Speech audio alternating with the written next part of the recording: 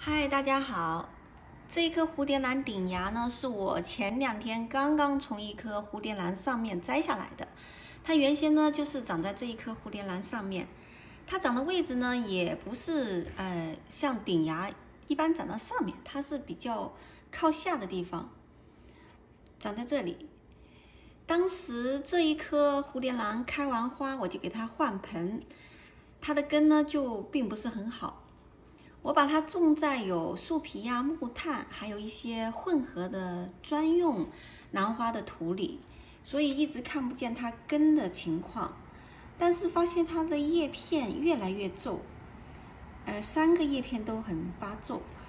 给它浇完水之后，改善也并不很明显，所以我就把它的根打开一看，它的根全烂了。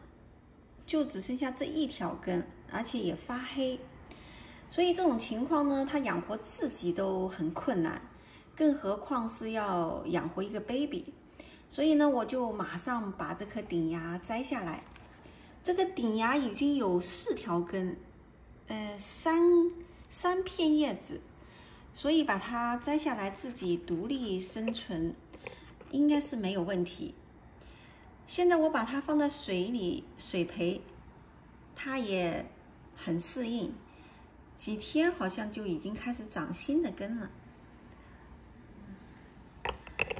所以这一颗小 baby 从此就独立自主啦。嗯，至于这一颗蝴蝶兰呢，我也呃尽量试一试，看能不能救得活。好，希望大家喜欢今天的视频，拜拜。